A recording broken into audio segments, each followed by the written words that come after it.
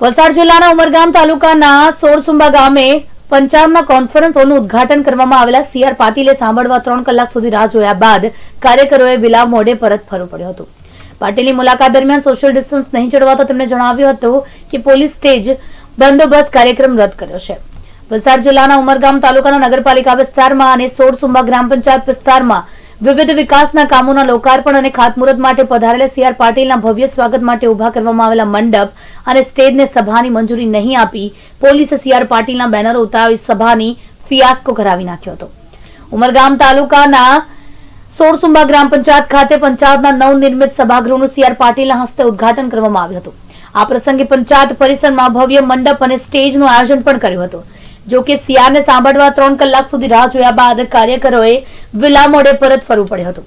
કાર્યકરોની મોટી સંખ્યામાં હાજરી જોતા પોલીસે સોશિયલ ડિસ્ટન્સ નહીં જળવાય તેવું જણાવી સ્ટેજ સંબોધન કાર્યક્રમ રદ કરાવ્યો હતો.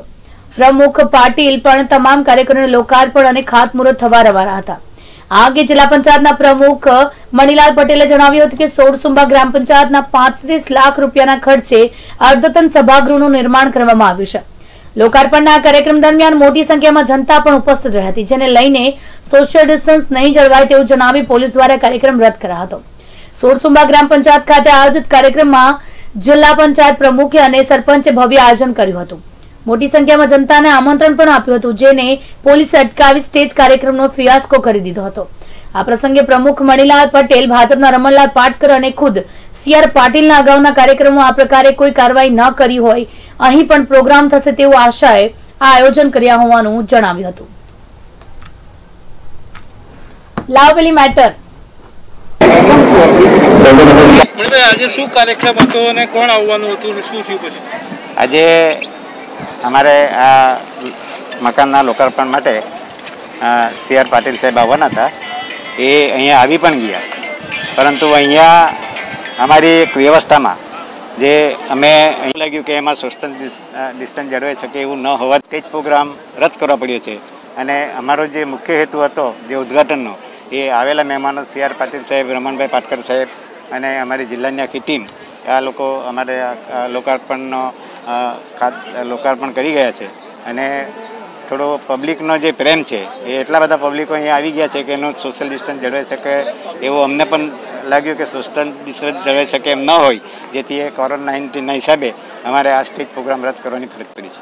મણિભાઈ કયા ભવનનું લોકાર્પણ હતું? કેટલાના ખર્ચે તૈયાર થયું કોણ કોના હસ્તે ઉદ્ઘાટન કરવાનું આમાં અમારું જે પંચાયતનું મકાન છે એમાં અમે એક પંચાયત માટેનો એક કોન્ફરન્સ હોલ એ લોકફાળા અને સક્રિય ભંડોળથી અમે એક ઊભું કરેલું. લગભગ પાંત્રીસ એક લાખ રૂપિયાનો ખર્ચ કરીને એ અમે મકાન ઊભું કરેલું હતું.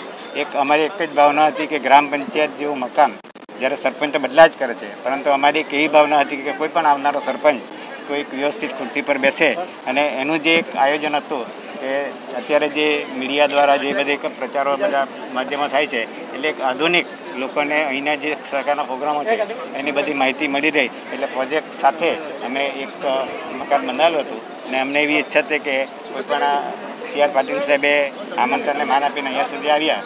પરંતુ પબ્લિકનો પ્રેમ અમને એટલો બધો લાગ્યો કે અહીંયા અમે પણ એ લોકોને સાચવી શકીએ એમ ન હોવાથી સ્ટેજ પ્રોગ્રામ રદ કરીને લોકાર્પણનો પ્રોગ્રામ કરીને એ લોકો ચાલી ગયા.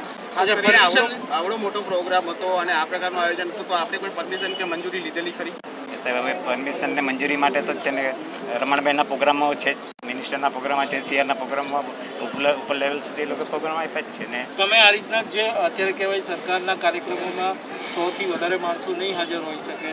તમે ખુરશીઓ પણ એ રીતના રાખેલી છે. પહેલાંથી પહેલાંથી જ આયોજન તમે આ રીતનું વધારે રાખેલું છે. ના તો જેમ પબ્લિક આવે તેમ તેમ ખુરશી મૂકતા ગયા. પબ્લિક તો એકી સાથે તો આવી નહીં.